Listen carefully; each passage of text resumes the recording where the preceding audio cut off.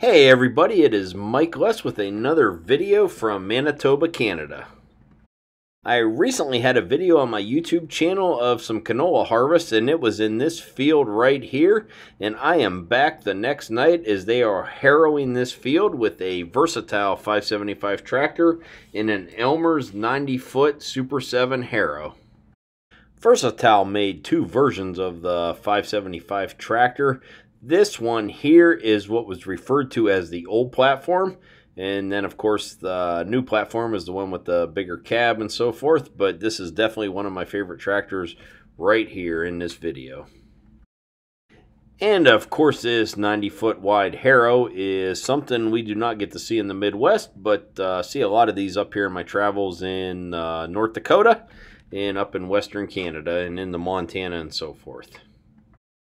So this really is just going through the field here. And like I said, they harvested this the night before and just going through and kind of scratching the surface and uh, working in and spreading out the residue that the combine left behind.